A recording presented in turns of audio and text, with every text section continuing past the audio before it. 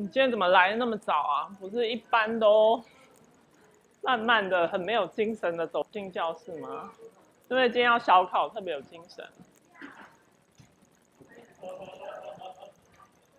我第二节才要考，我要先上课，然后第二节才要考试，OK 吧？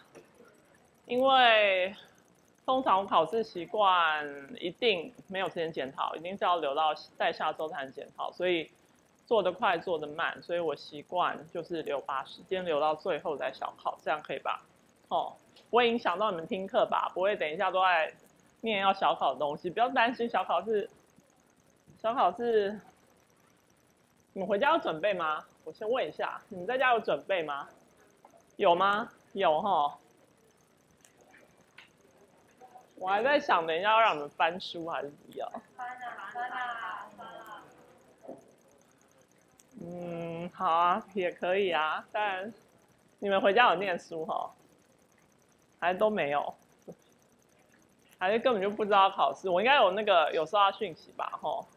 我们今天先把那个 phonemic 跟 phonetic 花一点时间把基本的概念讲讲，然后我可能没有办法在这一周把所有的 phonetics 和 phonemic 上完，但是应该最基本的概念今天大概可以讲一讲，然后呃下一周可能会再给你看一些实例，然后接下来可能就是上一下 phonological process，然后其实时间就差不多就要期末考了吼。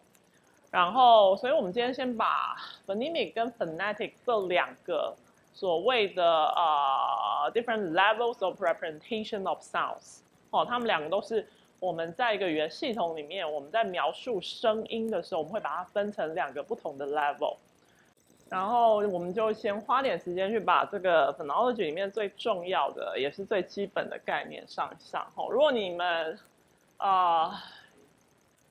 电脑啊，iPad 先可以开到 Moodle，然后这边有我等下要上课要用的那个讲义，哦，你可以下载。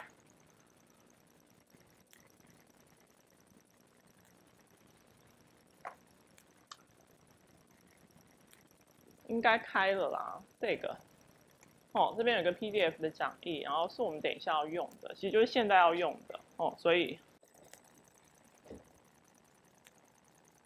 哦，我们要上的就是这个 phonemic 跟 phonetic 两个的区别。哦，这两个就是有关于 sound distribution。我们上周讲过，什么是 sound distribution，就是声音的分布。什么是声音的分布？就是在一个语言系统里面，我们会去讨论声音的时候，我们会去讨论不止单一个声音它有什么样的特质，而是这些声音当它出现在可能呃某个智慧里面的时候，或者是出现在我们。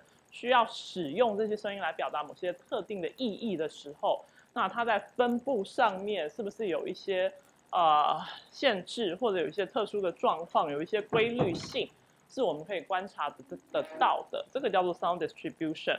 哦，那 sound distribution 它其实就牵涉到了，我们会把声音分成这两个不同的 level，一个叫做 phonemic，一个叫做 phonetic。这个要会念哦，phonemic。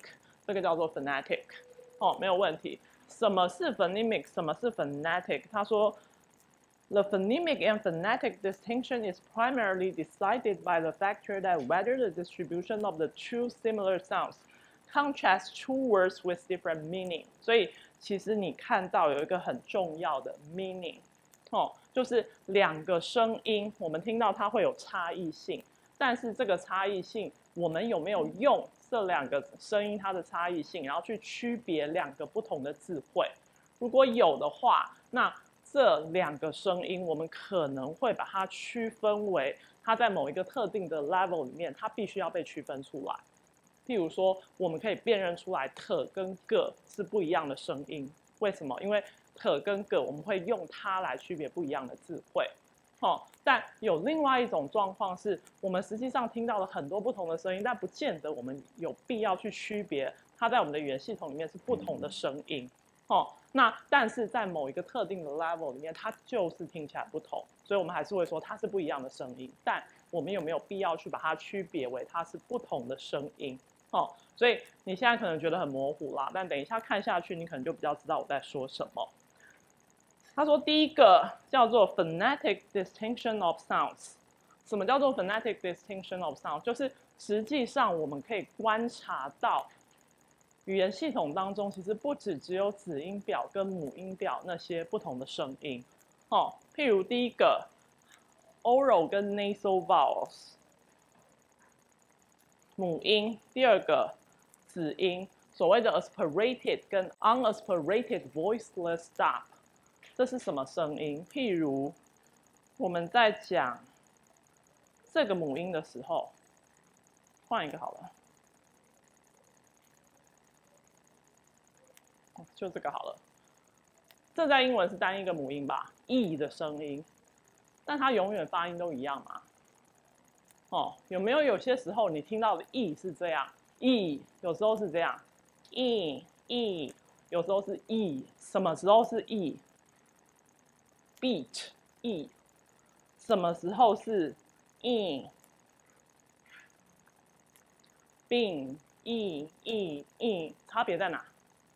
差别在哪？e 跟 in e 跟 in 或者是可听起来都一样吗？可可可可好像有一点不一样哦。还有另外一个，所有的语概课本都会讨论的，譬如特的声音哦。我们说啊。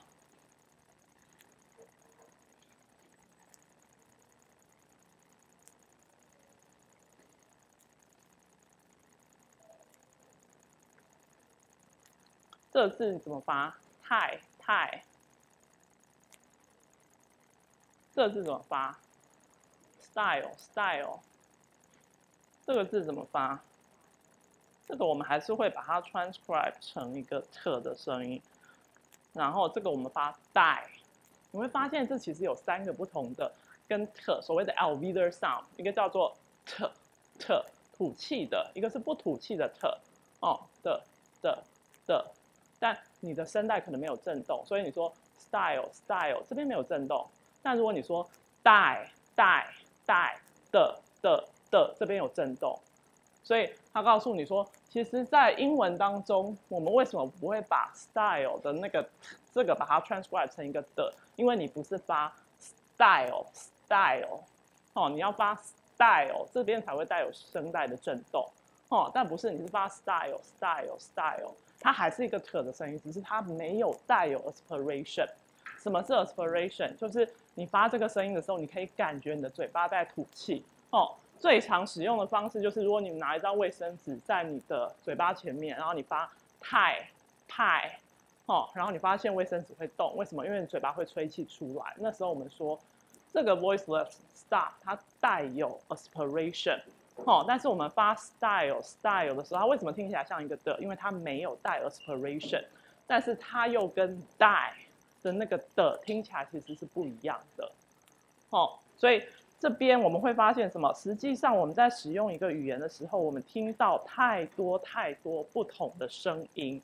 就我们的熟悉的英文而言，每一个母音好像至少都有两种变异。哦，一样这个。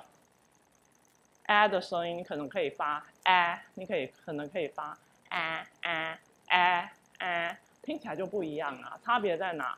差别在你的 v 的状态不一样。哦，你发呃 bat 啊 ban 啊啊啊出了什么事情？母音发生了什么事情？母音发生了什么事情？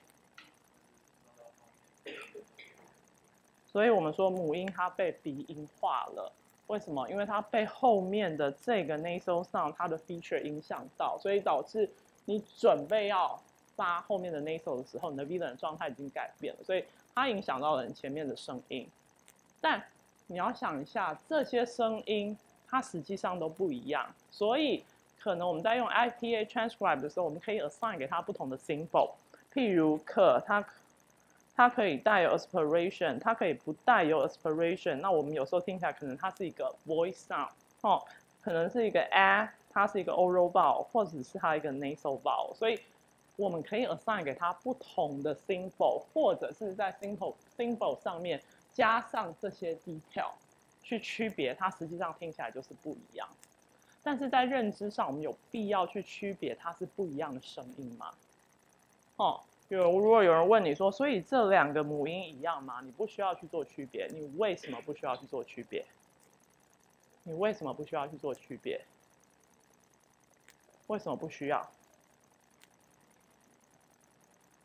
你看到下一组的字，你再回头去想这个问题。他说：“什么时候我们的认知上必须要去区别这些不同的声音？在这些状况，我上周讲的，哦，当 coat 跟 goat，哦，crab 跟 grab，lack 跟 leg，leak 跟 league，backer 跟 bagger，哦，当这两个声音，它也听起来不一样。”但他们不一样，足够去区别两个字的意义的时候，这时候表示什么？表示 speaker 他必须要去区别这两个声音是不同的声音，我们就会把它列在我们的子音表上。我们需要区别这两个不同的子音，但相对于他跟他，他告诉你说我们不需要去区别，为什么？因为我们可以从位置上面去做区别。意思是什么？我只要看到这个所谓的 sound sequence，我就知道这个 t 它应该怎么发生。所以我的认知上，它可能可以来自于同样的一个声音概念，但它有两种不同的。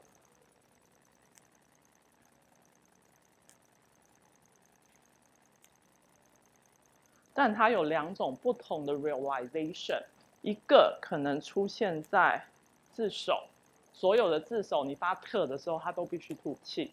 但是如果它出现在非自首，尤其是在这个 sequence 的时候，你不可能去发一个 aspirated t，你不可能发 style，然后告诉我说 style 是一个意义，style 是另外一个意义，不可能。所以。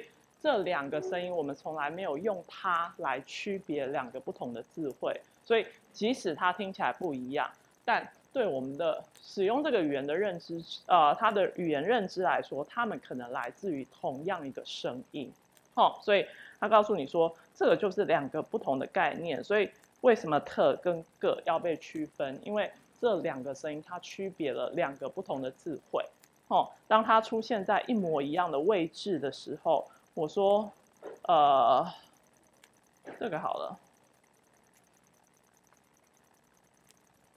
这边我要放进一个可，这边我要放进这个声音还是这个声音的时候，我会导致什么？它会产生两个不同的智慧，所以我没有办法用声音环境去区别这两个不同的智慧，所以呃，这两个不同的声音，所以我必须要区别它是不同的声音，哦，不然我没有办法去区别它是两个不同的智慧。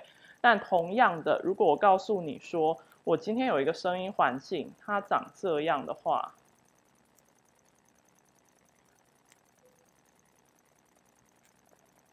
然后这边我可能要放进它，或者是它。第一个，不管我放进哪一，它不会是两个不同的字汇。我不管发 style 还是 style，它就是同样一个字。但其中一个我会觉得它发音很奇怪，为什么？因为我知道在这个声音环境只有它可以出现，它是可以预测的。所以对于语言使用者来说，我只需要认识一个特但是这个特出现在不同环境的时候，它就被必须被发成不同的声音。哦，所以这是两种不同的声音状况。哦，一种叫做 phonetic level。什么是 phonetic level？就是实际上我们听到别人在使用这个语言系统的时候。母音不止母音表上那些，哦，子音不止子音表上那些，我们听到太多种不同的特，太多种不同的的，太多种不同的母音，有带有啊带有鼻音的，不带有鼻音的，发音稍微前面的，发音稍微后面的。但我们说过，IPA 我们有办法去记录这些不同的声音，然后去区别这些不同的声音。但是另外一个 level 叫做 phonemic level。但实际上，我们的认知上，我们没有必要去区别英文当中有这么多子音，有这么多母音。我们会去把某些声音归类为它是其中一个母音的变异，然后某些声音归类为它是其中一个子音的变异。那那个关键在哪里？就是它们的不同有没有足够去区别两个意义不同的字汇。哦，当我们把这两个不同的声音放在同一个位置的时候，它会不会区别出两个不同的智慧？如果它会的话，那使用这个语言的使用者他就必须要区分它们是不一样的声音，哦，因为他不这么做的话，他没有办法去区别这是两个不同的智慧。但如果你把它放在同样的位置的话，它并不会区别两个不同的智慧，甚至你可以用它们出现的声音位置去区别到底什么时候特应该发成一个 flat。什么时候可应该带有 aspiration？那那时候我就可以用声音环境去区别这些不同的声音。那我们的认知上就不需要把它们归类为它们是不同的子音或者是母音系统。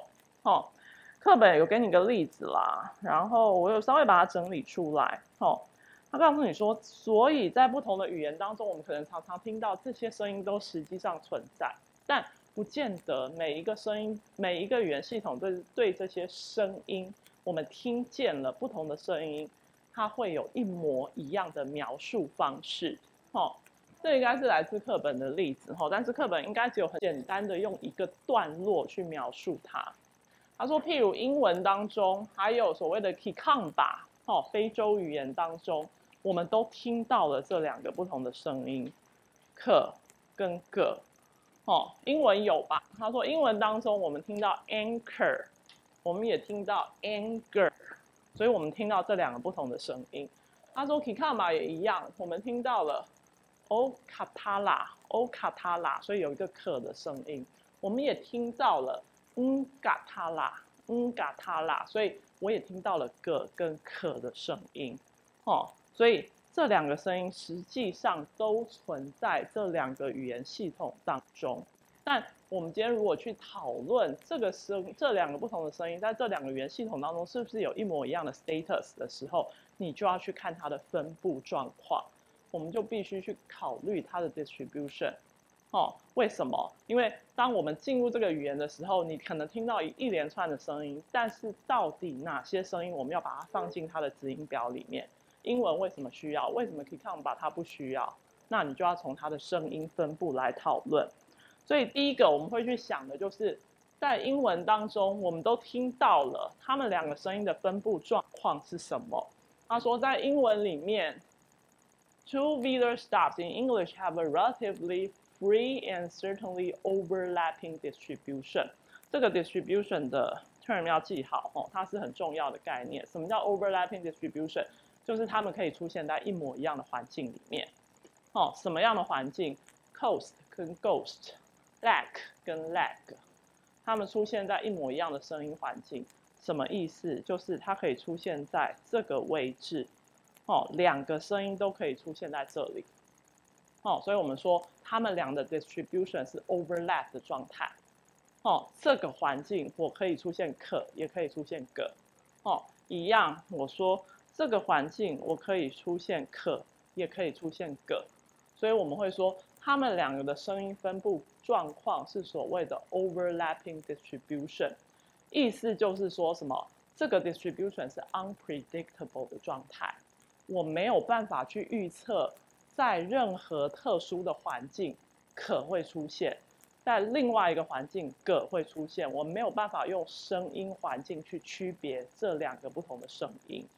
哦，有没有问题？可跟格在英文的状态是这样：第一个，它们的分布状况是重叠的，它们可以出现在一模一样的声音环境，字首可以，字中可以，字尾可以，甚至同样的 sequence，我说这个地方放可还格，它们都可以出现。哦，所以我们说它们的分布是重叠的，然后没有办法预测的，就是我没有办法告诉你说在什么样的条件下。可一定要出现，但另外一个条件下，个一定要出现，我没有办法做这样子的 prediction，哦，那代表什么意义？他说第二个，我们讨论它的意义，我可不可以任意的把这两个声音对调，会产生什么状况？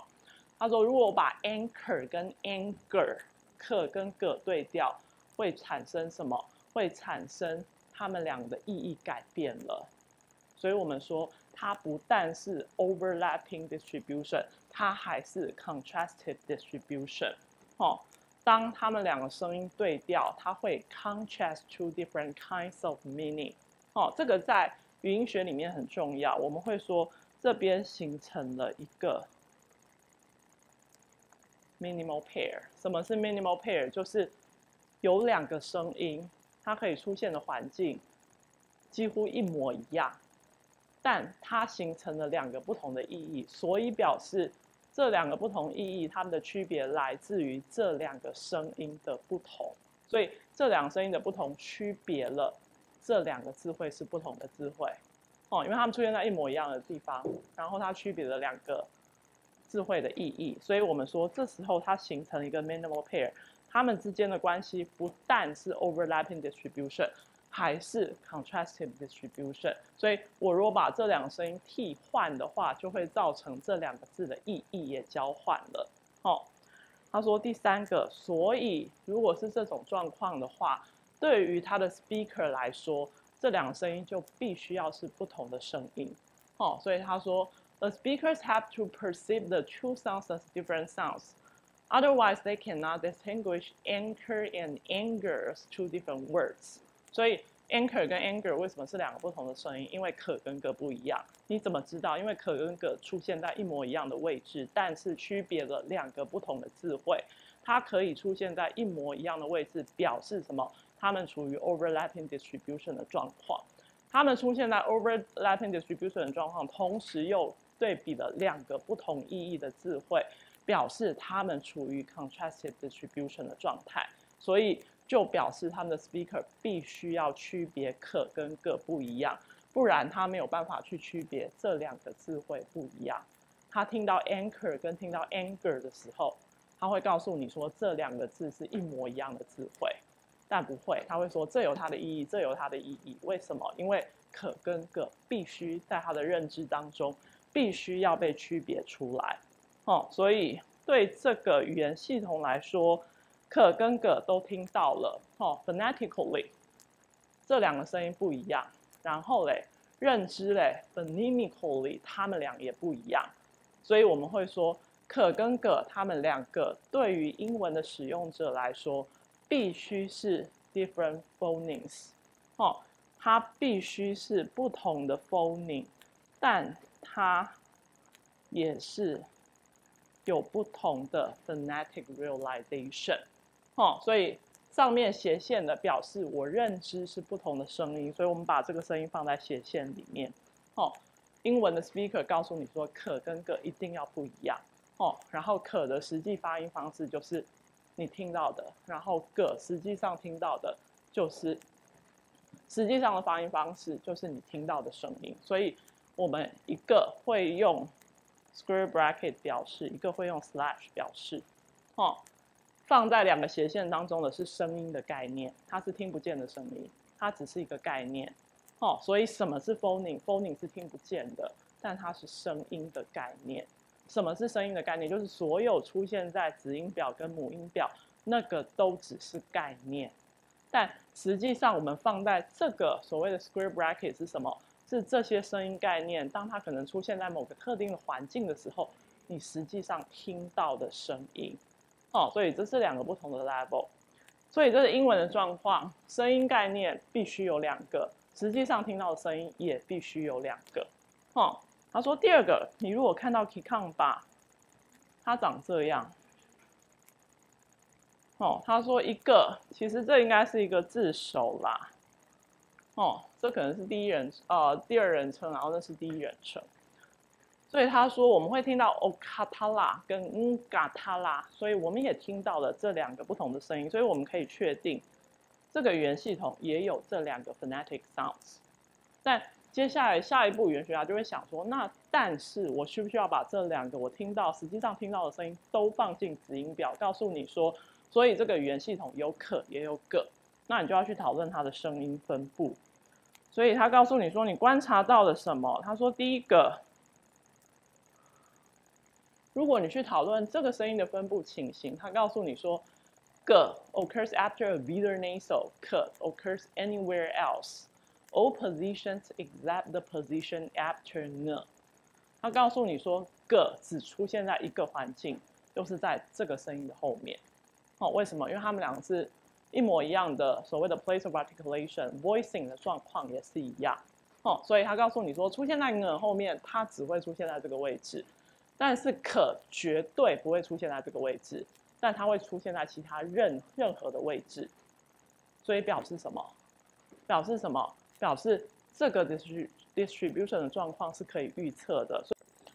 如果我今天说这是一个声音环境，这是一个声音环境，然后这两个声音可能会出现在哪里？我会告诉你说，当这个声音环境出现的时候。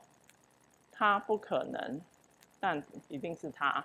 但这个环境是出现的时候，只有可能是它，它不可能。所以这个语言系统当中不会有一个字叫做 o 嘎塔拉，它只会有 o 卡塔拉，它也不会有一个字叫做嗯卡塔拉，它只会有嗯嘎塔拉。所以意思是什么？意思是他们的声音状况，他们的声音的分布状况。不是重叠的，他们不能出现在一模一样的位置，它们总是出现在不一样的位置。哦，这时候我们会说，它们俩的状况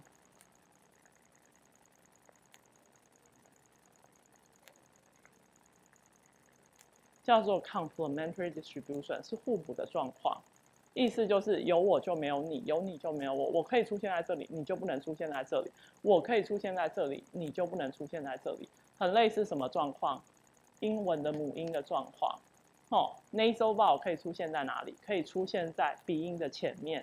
oral vowel 绝对不能出现在那个位置。那 oral vowel 可以出现在哪？非鼻音的前面。但 nasal vowel 绝对不能出现在那个位置。意思就是说，两种母音的分布绝对不会重叠，它们一定会出现在不同的环境。那可跟个在这个语言状况一样。你只要看到前面是一个 velar nasal，它一定是一个个。如果它不是一个 v i l l a n a s o 它不可能是个，它一定是可。所以这个声音分布状况叫做 complementary distribution，互补的，就是有我就没有你，有你就没有我。我跟你绝对不会同时出现，但我跟你两个加起来可能就等于全部。所以他说，如果今天我们把这两个声音对调，会产生什么状况？会跟英文是一样的状况吗？他说不会。英文你把可跟格对调，可能字义改变了，但在这个状况，如果告诉我说嗯嘎他啦，你把它变成嗯卡他啦，欧卡他啦变成欧嘎他啦，它不会变成其他的字汇，但是有可能造成一个状况，叫做叫做 mispronunciation。你觉得发音很奇怪，就像我今天如果发 style，如果发 sky，它不会是另外一个字汇。但是你会告诉我说听起来很奇怪，哦，为什么？因为另外一个声音它不允许出现在这个位置，所以你把它放在那个位置就会造成发音很奇怪，但它不会变成另外一个字汇。所以对于他 speaker 来说，他不需要区分我的语言系统当中有两个不同的 velar stop。对我来说，我的语言系统当中只有一个 velar stop。不管它是一个 voice 还是 voiceless，它们虽然实际上你听到它们不一样，但是那个不一样对这个语言系统来说，它不是 is not significant enough to distinguish the two different meaning in this language。但在这个语言系统里面，这个不一样，它不够 significant。什么叫做不够 significant？就是它并没有用来区别两个不同意义的字汇。所以我不需要区别它是不同的声音，哦，所以这时候他会告诉你说，我的语言系统当中我听到了可跟个，所以 phonetically 这两个声音都存在，有时候是它，有时候是它，但 native speaker 不一定有意识到哦，不一定有意识到他们发出了不一样的声音。但如果你今天不懂这个语言，去观察这个语言的 speaker 的话，你会发现我听到了两个不同的可，哦。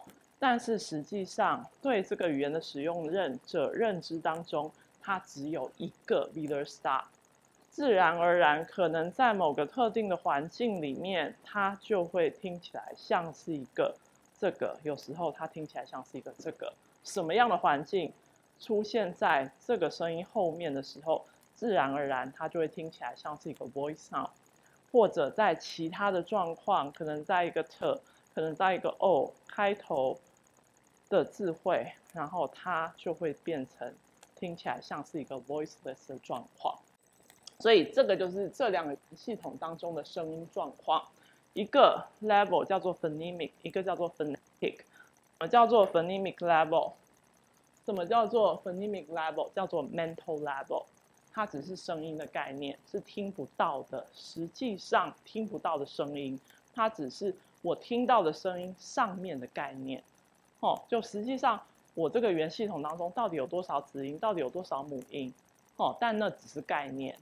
实际上，我们听到的声音叫做 phonetic sounds，哦，所以这个叫做 phoneme，这个叫做 allophone。所以一个 phoneme 它必须要有至少一个 allophone，哦，它只是一个概念，但实际上它怎么发生的，至少会有一个 allophone，它有可能有好多个 allophone。那每一个 allophone 我们都可以从声音环境去定义它。这是一个声音概念，什么时候它会听起来像一个 oral vowel，什么时候它会听起来像一个 nasal vowel，我们可以用声音环境去定义它，但它的概念只有一个，但它概念发不出来，它概念只是一个抽象的想法，但实际上你听到的是这个概念出现在不同的声音环境的时候，它可能会被调整一些发音的方式，哦，所以我们实际上听到的一定。会比子音表跟母音表上面的声音还要多，因为子音表跟母音表上面描述的只是声音的概念，不是实际上听见的声音。这个就是 phonology 最基本的概念，就是之后我们要来呃去解一些所谓的 phonological data set 的时候，所有的都是建立在这个概念之上。哦，第一个 phonemic 跟 phonetic。对于所有的呃语言系统来说，它都存在。一个是声音的概念，你脑袋里面你理解到这个语言系统当中有多少不同的声音；一个是你实际上观察到这个语言系统当中有多少不同的声音。没有任何的一个语言的使用者，他的 phonemic 跟 phonetic level 有的声音是一样多的。哦，为什么？因为声音一定会产生变异。什么样的变异？就是某个声音出现在某个特殊的环境里面的时候，它发出来的声音就是不一样。但我有没有必要去区别这些所有不一样的声音？不见得，因为自然而然，当我遇到那个环境，我就不会把某些特定的声音它发成有声音还是无声音，它有没有带有鼻音？哦，我自然而然就会这么发音。所以对我来说，我只需要去区别那些我需要区别的啊，我需要区别的声音。那为什么我需要区别？因为如果我不区别它，我就没有办法去分辨很多不同意义的智慧，所以我只需要去区别那些声音。课本有给你更多的例子啦，我们直接看课本好了。如果你有带课本的话，你可以翻到三点二。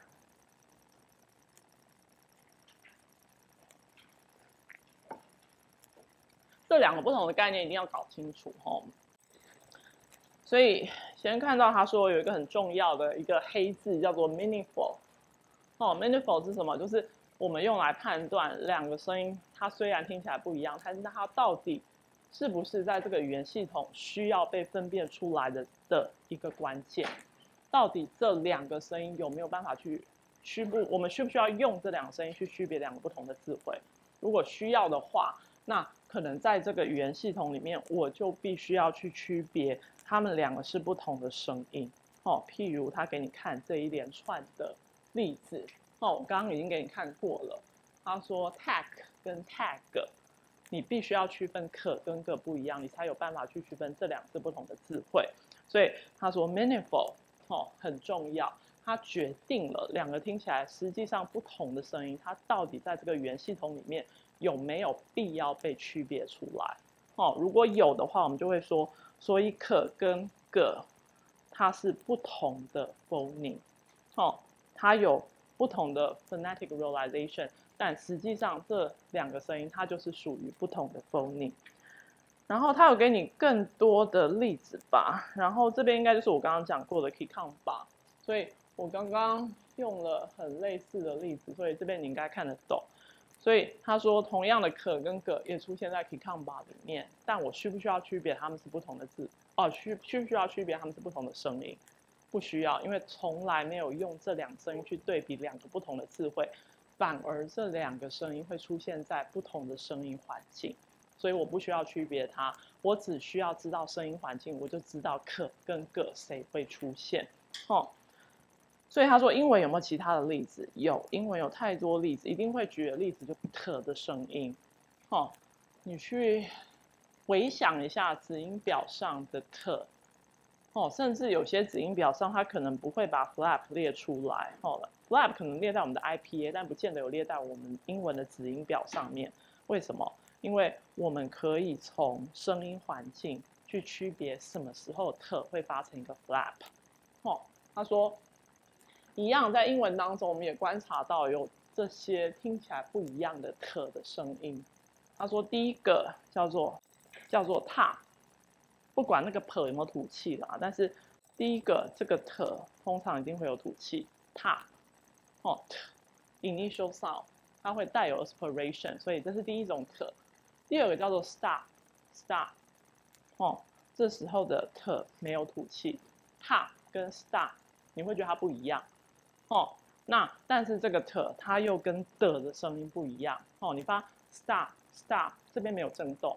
它不是一个的的声音，但如果你发 duck duck duck，这边会震动，哦，那是的的声音，你不会发 stop stop，你不会这样发，因为那很难发，你一定是发 stop stop stop，它只是一个不带有 aspiration 的特的声音，哦，但是另外一个时候你又听到了 little little little，它也不是一个的的声音，它是一个 flap 的声音，little little。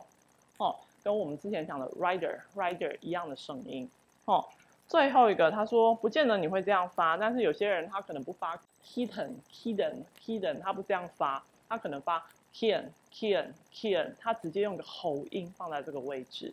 所以他说，一样的 speaker 会告诉你说，这就是一个特的声音，一个声音概念，但实际上你听到了一种、两种、三种、四种。四种不一样的，实际上跟特相关的声音，但为什么他的 speaker 告诉你说没有啊？这个都是特的声音。我们英文当中就是一个特的声音啊，我们子音就是特，要不然就是的。哦，我们有太，我们有带，但它不会告诉你说我们有多少种不同的特，一个带有气音，一个不带有气音，一个不发音什么样？不不需要，为什么？因为不同的声音环境，它是可以被区别出来的。他会告诉你说，可能在自首的时候，你就会在你就会发成它，哦，然后出现在其他位置的时候，你可能就会发成它，哦，然后可能出现在两个母音中间，前面又是重音的时候，在这个位置的时候，哦，rider little，只要在 intervocalic position，在两个母音中间，前面又带有重音的时候，它常常听起来就是一个 flat 的声音，或者在。它又出现在一个所谓的 onset position，哦，然后它大后面跟着一个 slavic nasal 的时候，它自然而然又会发成一个 glottal sound，哦，所以你发现什么？这些都会出现在不同的环境里面，哦，这个特，这个特，这个特，这个特，它出现在不同的环境里面，我们可以用声音环境去定义什么时候你会碰碰到它。什么时候你会碰到它？什么时候你会碰到它？所以这时候他告诉你说，对于英文来说，我只需要认知我的原系统当中只有一个跟特相关的声音概念，但是它有至少这四种不同的 realization，它出现在 word initial position。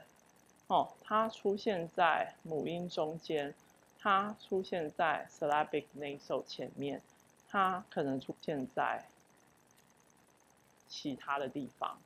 哦，所以这四个声音环境没有重叠，所以我们说这时候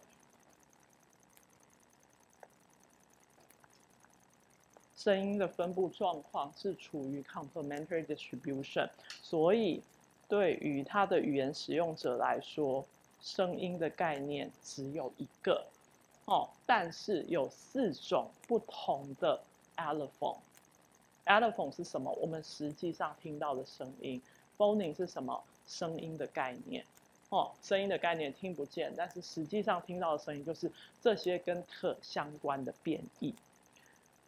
然后嘞，他又告诉你说，但是在其他的语言可能不是这样的哦。哦，他说同样的 per 的声音 per 跟 b，在所谓的 Hindi，在英文是什么状况？per 跟 b。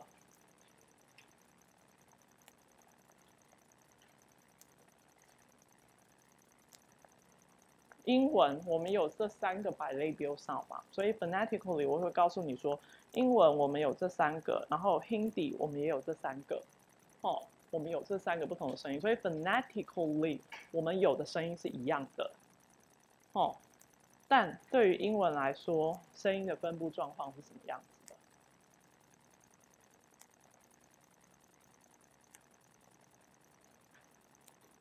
第一个。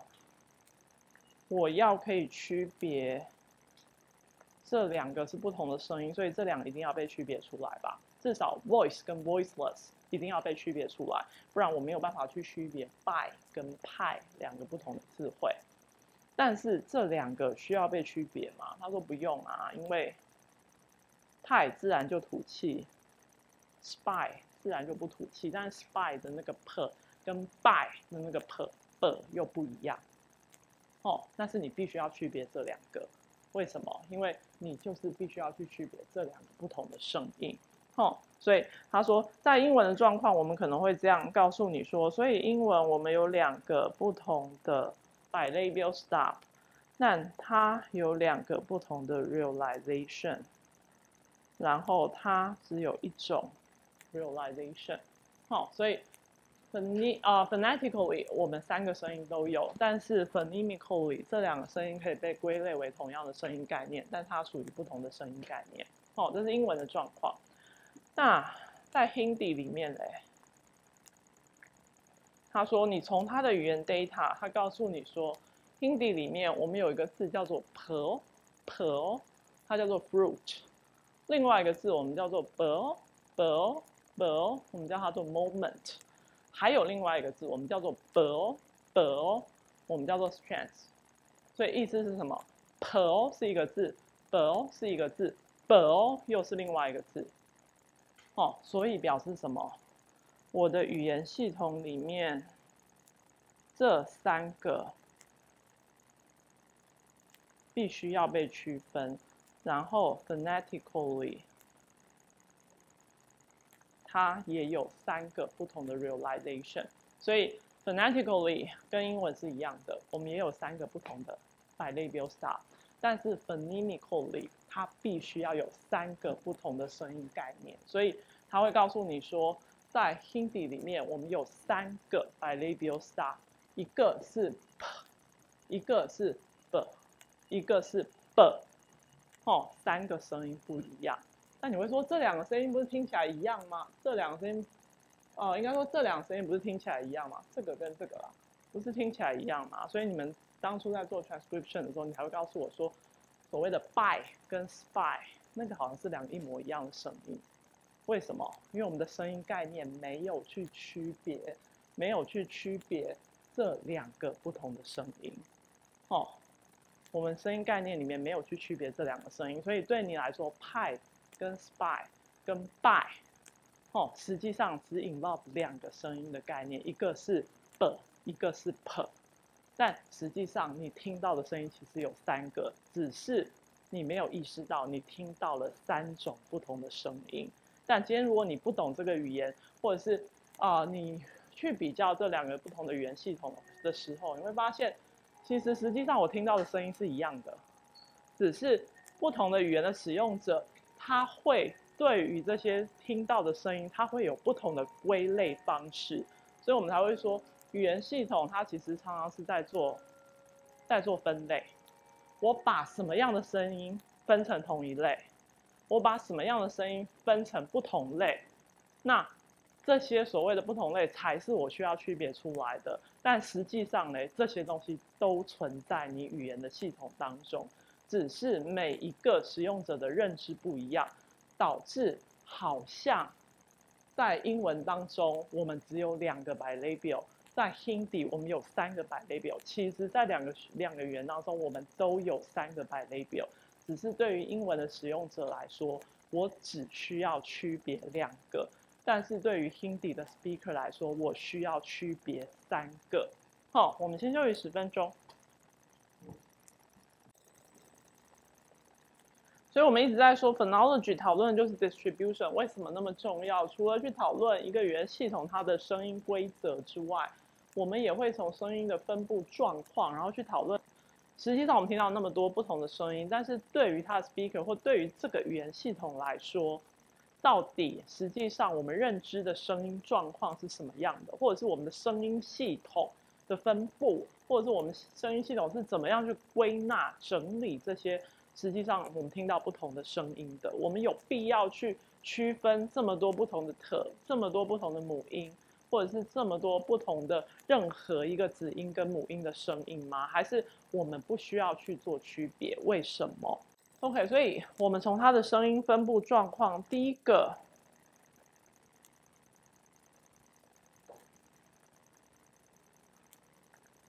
哦，第一个叫做 complementary distribution。它很重要，为什么？因为它就是所谓的声音是互补的状况。那我们说最常用的例子，可能就是一个母婴，它今天是一个 oral 还是一个 nasal vowel？那这个我们画在斜线里面的，我们叫做 phonemic level。这个我们放在 square bracket，我们叫做 phonetic level。好，phonemic 我们又叫做 mental level，phonetic 我们叫做 physical level。什么叫做 mental level？就是概念，哦，听不见的声音。什么叫 physical level？就是我们观察得到的声音。所以我们观察得到的是什么？是 oral vowel，是 nasal vowel。但是声音的概念是什么？我们只有一个母音。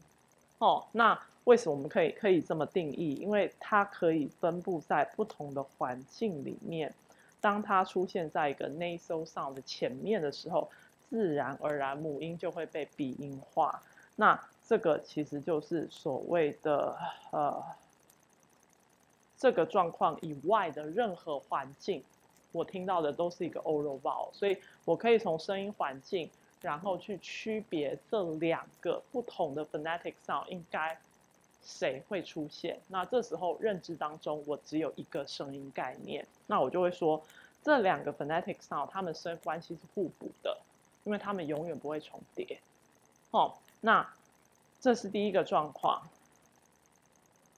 那更常用的当然就是我们刚刚讲的特一个声音的概念，有时候听起来是这样，有时候带有 aspiration，有时候听起来。像是一个 palatalize，什么时候 trace 那个特稍微发音又往后了，trace 它听好像又好像比较接近一个一个 ch 的位置往后退了，哦，所以它不是一个 trace，你不会这样发，你会发 trace，哦，所以那个扯又听起来不一样，有时候又是一个 flap，有时候又是一个 glottal sound，甚至有时候它不发音，哦。同意吧？什么时候它不发音？可能出现在字尾的时候，哦，什么时候它发一个扯的声音，带有 aspiration 字首的时候，什么时候它听起来像是一个 palatalize 的声音，当它后面跟着一个 r 的声音的时候，什么时候它听起来像是一个呃 flap 的声音，母音中间，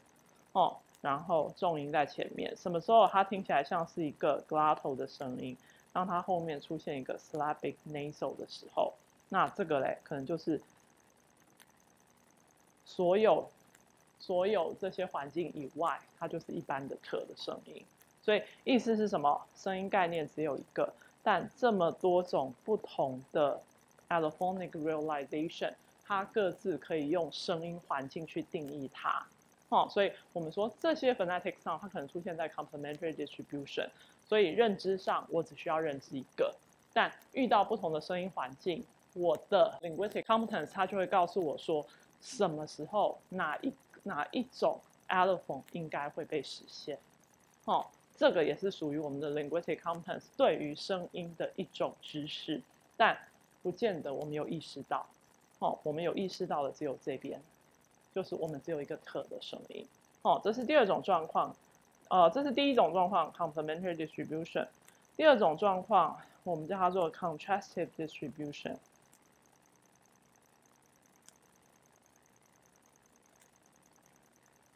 证据是什么？minimal pairs。什么是 minimal pairs？就是两个意义不同的智慧，它们差距只在于一个声音，而那个不同的声音出现在一模一样的位置。哦，譬如什么？你说。这两个为什么是不同的智慧？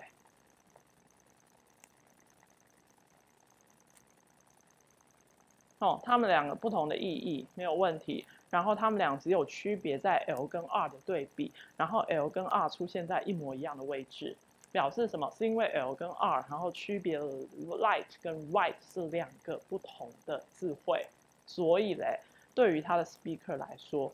他们必须要认知，他们是不同的声音，然后各自有各自的 allophone，哦，所以这个是 phoning 声音的概念，这个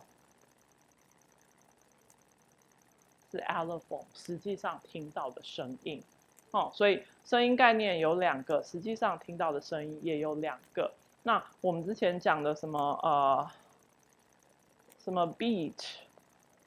bat，哦，应该还有很多啦，所以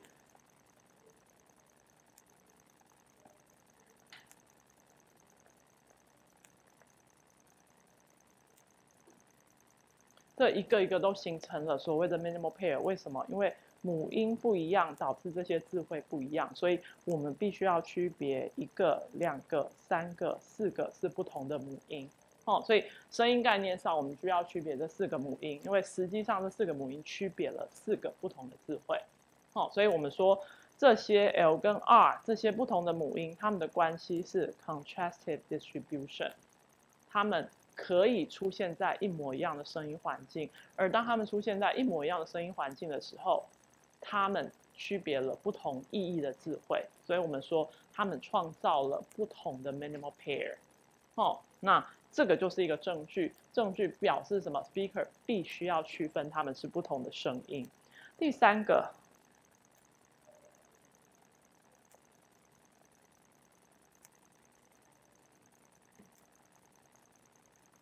叫做 overlapping distribution，contrastive distribution 也是 overlapping distribution 的一种。意思就是说，我可能在某些状况，我允许两个不同的 phonetic sound 出现在一模一样的位置，但即使它出现在一模一样的位置，它也没有区别两个不同的字汇，我也没有觉得它发音很奇怪。意思就是说，那个声音好像那两个 phonetic sound 都可以出现在那个位置。哦，那最常用的例子可能就是一个。Voiceless stop 出现在 word final position 的时候，譬如你说 top，你要把它发成这样，还是不要把它发出来？你要发 top 还是 top？哦，不管今天它出现在这个位置，它允许，它也允许，但他们两个出现在这个位置的时候，你都不会觉得它很奇怪，都不会有 mispronunciation 的状况发生。意思就是。这两个可以出现在重叠的位置，但即使你把它们对调，你说 top 变成 top，还是同样的字汇，它并不形成一个 contrastive distribution。但我允许它们出现在一模一样的位置，这种叫做 overlapping distribution。所以这种状况，我们会说这两个声音它们还是来自于同样的声音概念，哦，它还是来自于同样的声音概念。哦，它还是 allophonic variants，但同时它们又叫做 free variation。哦，就是我可以任意在这个环境选择我要使用哪一个 allophone。哦，所以它跟呃刚刚两种分布的状况不一样。所以这三个其实就是最基本的 phonology，你必须要很清楚的三种声音的分布状况，它可以用来帮助我们去。进入到一个语言系统去讨论它的声音结构的时候，除了每一个词汇都会有它的 syllable structure，除了这些所谓的语言系统当中有的 phonotactic constraints，还有就是它的分布状况，它可以帮助我们去判断这么多不同的声音，在这个语言系统当中，对他们的使用者来说，实际上这些声音它到底是以什么样的结构方式？什么样的定义方式存在于这些 speaker 的脑袋里面，存在于这个语言系统的结构当中？好，所以呃，这三种分布的情形很重要啦，也是我们在 phonology 里面可能最基本、最基本的概念，但是也是最重要的概念。哦，所有的 phonology 之后，你做的 phonological process，你做的 phonological data set 都是建立在这个很简单的概念上面。就是从声音的分布状况去讨论这个声音实际上在这个语言系统当中它具有什么样的 status，哦，那就是从它的分布，从它有没有对比出不同的意义，哦，从我是不是可以找到每一个声音它有特定的跟别人不一样的分布状况，然后我可以用这些分布状况，然后去区别哪一个声音它应该出现在某些特定的声音环境，那。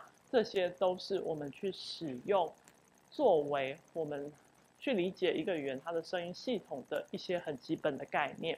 好，所以如果你今天上课还是听得很模糊的话，回家把影片看一看，然后把课本，这是第几章？我看一下，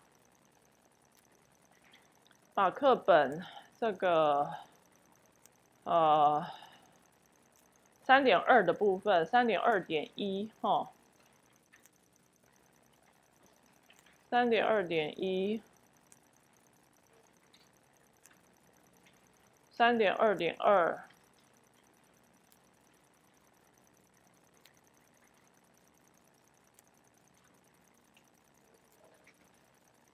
三点二点三，